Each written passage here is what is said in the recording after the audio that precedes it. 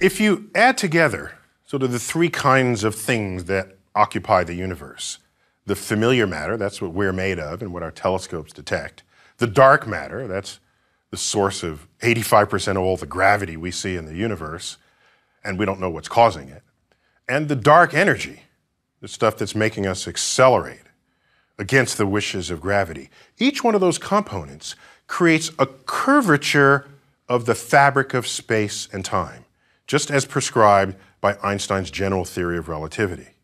If you add those curvatures together, what you find is that they create a universe that is perfectly flat.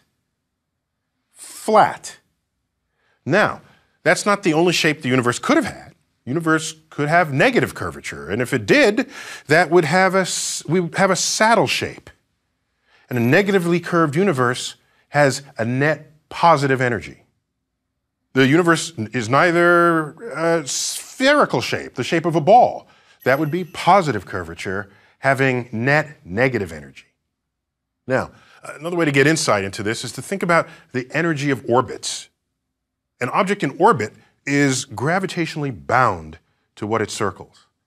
And bound orbits have negative gravitational energy. That's how we describe this system.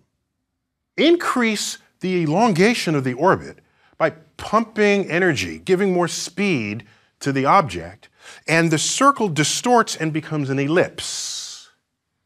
Give it even more speed, the ellipse gets more and more elongated.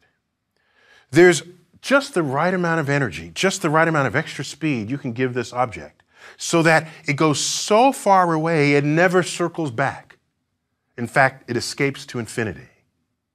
At that point, that object and the system and the object, that the orbiting object and the object around which it formerly turned has zero total gravitational energy.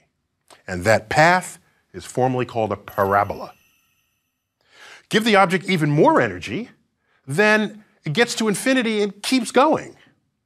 That has net positive energy, and we call that trajectory a hyperbola.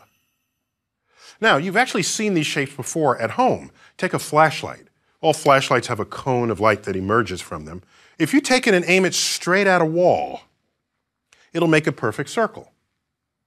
Take it and tip the angle just a bit. That circle distorts and you get an ellipse tip the flashlight so it's parallel to the wall, and you'll see the shape on the wall, and it'll take the form of a parabola. Angle it a little more, it opens up even further, and you get a hyperbola. Try that at home.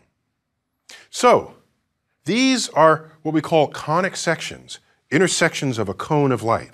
And they relate to orbits and they relate to the energy that those objects have. Now, if your space-time is flat, just as if your orbit were a parabola, it means the universe, the entire universe, possesses zero net total energy. Think about that. If the shape of the universe were anything else, positively curved or negatively curved, it would not have zero energy. It would have negative energy or positive energy. We have zero net total energy. Now you're wondering, is that good or bad?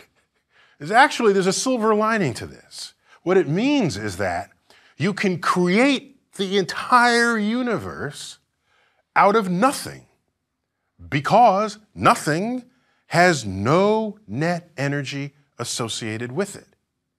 Had the universe been endowed with either negative or positive energy, we'd be forced to confront the questions of what was the original source of energy that begat the universe? And if it had some amount of energy, why is it that amount and not some other amount? The fact that we live in a zero energy universe bypasses that line of questioning. And does it leave us content in our emptiness? Perhaps. But we're no less enlightened by the ignorance that led to it.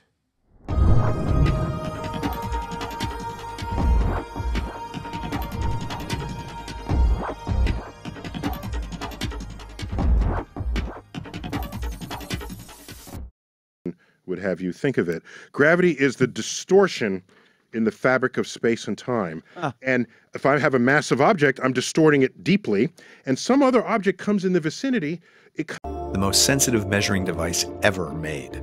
LIGO uses a device known as an interferometer to measure the tiny displacements in space. In this simplified representation,